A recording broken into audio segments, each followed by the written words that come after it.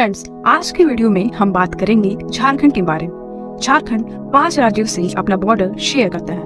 वो है बिहार, उत्तर प्रदेश, छत्तीसगढ़, उड़ीसा और वेस्ट बंगाल झारखंड का 29 परसेंट एरिया फॉरेस्ट और वुडलैंड ऑक्युपाई करता है। इसलिए इसे वनांचल यानी लैंड ऑफ़ फॉरेस्ट भी कहा जाता है।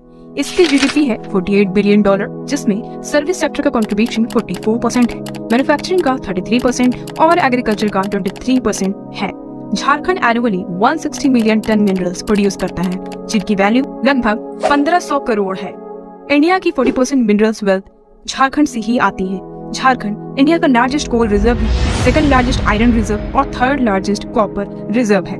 झारखंड में इंडिया का फ़र्स्ट और largest plant industrial city Jamshedpur में ही है, जो 1907 में जमशेद जी टाटा द्वारा बनाई गई। जमशेदपुर में ही स्टैब्लिश हुई टाटा स्टील लिमिटेड इंडिया की पहली private iron and steel company है, जो प्रेजेंट डे में इंडिया की second largest iron and steel company है। एशिया का one of the largest steel plant Bokaro steel plant भी झारखंड में ही है।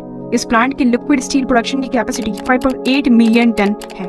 झारखंड की धनबाद सिटी को इंडिया कोल कैपिटल कहा जाता है। यहाँ 112 कोल माइन्स है, जो 27.5 मेट्रिक टन कोल प्रोड्यूस करती है। और इंडस्ट्रियल पर्पज के लिए यूज़ होने वाली कोकिंग कोल की 50 परसेंट डिमांड यही से पूरी होती है। इंडिया की लार्जेस्ट प्लान जिसकी हाइट 493 फीट है, वो झारखंड के रांची डिस्ट्रिक्ट में सिचुएटेड है। Thank you